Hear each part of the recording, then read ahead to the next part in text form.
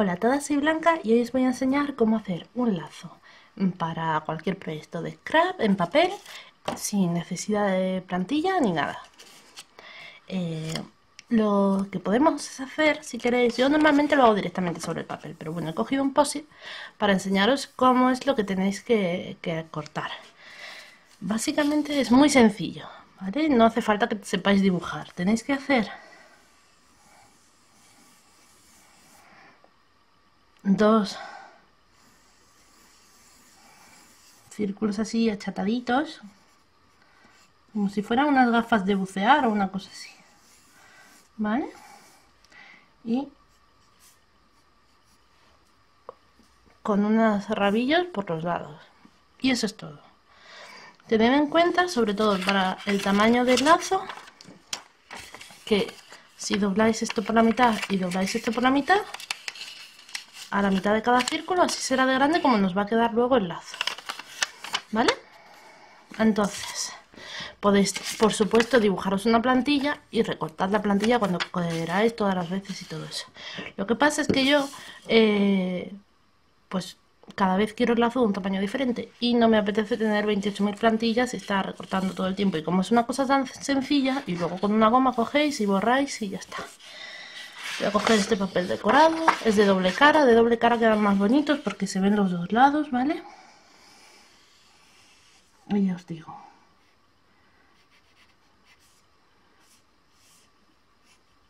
Dibujamos así un medio círculo. Igual lo tenía que haber dibujado por el otro lado que se vea más claro, pero bueno. Voy a cortarlo y daros otro truco. Que podéis hacer una vez que tengáis dibujado este medio círculo es doblarlo por donde está como la mitad de la patilla. ¿Vale? ¿Veis? Ahí está nuestro óvalo. ¿Veis? Y ahora vamos a recortarlo así, de forma que recortamos las dos piezas iguales. como os digo, no hace falta que quede perfecto ya muchas veces yo ni lo dibujo. Directamente me pongo a recortar y ya está.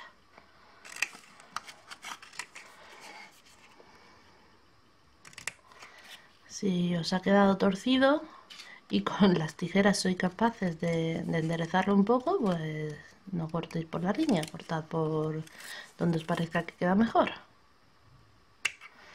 ¿veis? bueno pues yo ya tengo aquí mi pieza aquí queda un doblez, pero ese doblez no se va a notar luego, así que no es problema. Nos va a hacer falta también una tirita más o menos de este ancho, del ancho de la patilla, digamos. Entonces cogéis y cortáis. Esta es muy larga, pero vamos, nos va a hacer el apaño. Y luego, en función de, lo que queráis, podemos dibujar varias otras cosas. Pero os, vamos, os voy a enseñar cómo es esto. Cogemos y doblamos sin apretar, sin marcar el pliegue, porque queremos que quede así redondito. Y vemos cómo queda. ¿Vale? Vamos a ponerle un poquito de pegamento. Lo podéis hacer con cinta doble cara si queréis. Este pegamento a mí me gusta bastante y seca bastante rápido. No es como el glossy o así, pero seca bastante rápido y además es súper barato. ¿Vale? Y lo pegamos. Agarráis ahí un segundo. Y ahora vamos a coger la otra patilla y lo mismo. Lo vamos a pegar aquí. Voy a recortarlo un poco porque está un poco larga conviene que lo tengáis ahí agarrado un ratito. Mira esta patilla aprovecho y la corto también. Bueno aquí ponemos otro poquito de pegamento y pegamos la otra patilla encima. Según lo que queráis hacer podéis aplastar esto pero así queda más bonito ¿vale? o sea que no hace falta que lo aplastéis. Lo vamos a dejar ahí. Si tenéis un imperdible o un una pincita se la podéis dejar puesta en vez de tener que sostenerlo así hasta que quede bien pegado. Vamos a ver, ¿Veis? Ahí está como la base de nuestro lazo. Luego podéis coger eh, la tirita y la podéis poner en un, eh, con un estampado o con el otro, como os guste más. ¿Vale? Yo lo voy a mantener monocromo y lo voy a dejar de un solo color.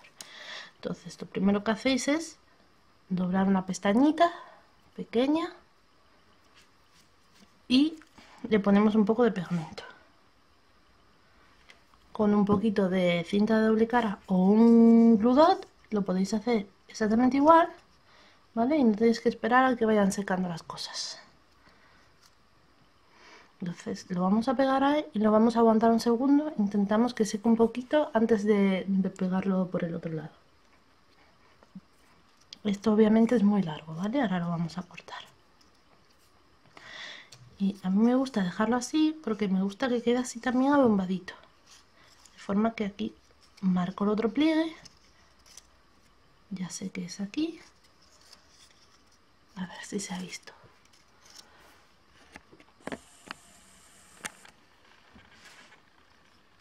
¿qué tal ahora? así ¿veis? quiero que quede así abombadito sin estar pegado entonces marco el pliegue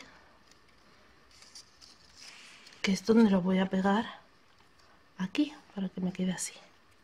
Y todo esto me sobra. Ahora le pongo ahí otra gotina de pegamento.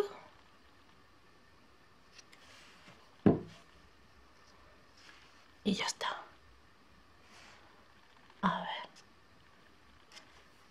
Por supuesto yo lo que os recomiendo es que si lo dibujáis sea lápiz y lo borréis luego una vez lo hayáis recortado porque si no se os pueden ver las líneas del lápiz que a mí se me ve alguna por aquí y así pero vamos, no se nota.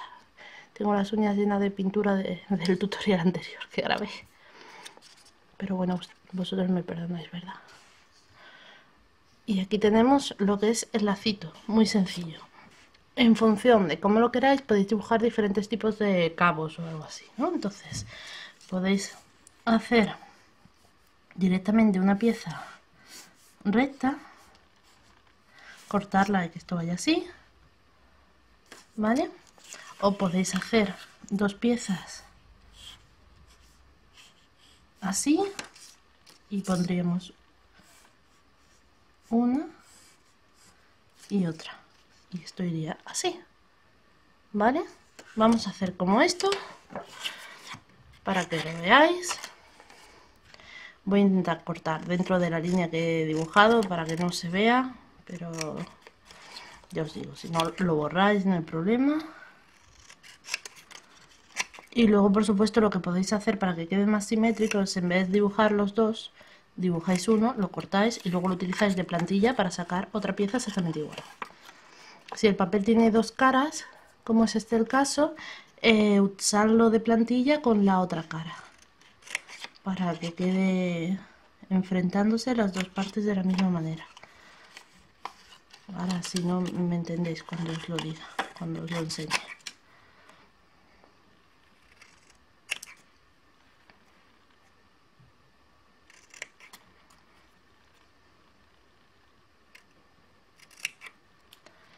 ¿Veis? Entonces ahora yo lo, esto lo abro y me quedan así simétrico. Si yo lo hubiese hecho Mm, dibujándolo así, en vez de dibujándolo así, la pieza esta me quedaría así y no coincidiría, me quedaría así. Así que este sería nuestro lacito. Luego podéis abrir o cerrar tanto como queráis los, los pliegues estos. Podéis ponerlos rectos hacia, hacia allá Así depende del proyecto que vayáis a hacer, si lo que os venga mejor. Los vamos a poner en este, caso, en este caso hacia abajo. Vemos ahí una pizca de pegamento.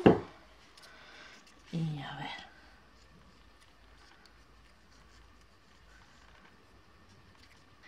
Y ya está. Y ahí se va a quedar nuestro lacito. Estupendo. Como os recuerdo, partiendo solo de unas gafas. Os haría falta la pieza esta, la pieza recta, que es la que va aquí dentro, y luego dos piezas como esta. Entonces esto si queréis, eh, si os viene bien, yo os hago una plantilla, lo dibujo un día bien, os hago una plantilla y la subo al blog para que la podáis descargar.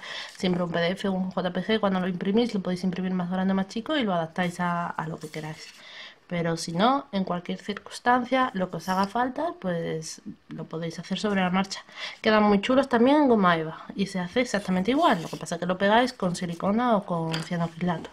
Pero queda igual y podéis hacer, pues podéis hacer un lazo enorme con mucha facilidad con una plancha de goma eva que es algo muy barato para decorar una fiesta o algo así. Podéis poner pues un lazo enorme con telas o con lo que queráis y es algo muy muy vistoso, muy rápido de hacer y y que queda muy chulo. Espero que os haya gustado y que lo pongáis en práctica.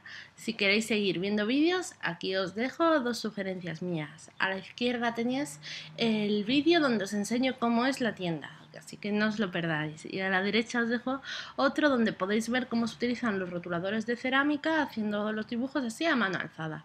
Y eso es todo por hoy. Espero que os haya gustado mucho todo, que os suscribáis al canal, nos deis like y por supuesto que tengáis un día maravilloso.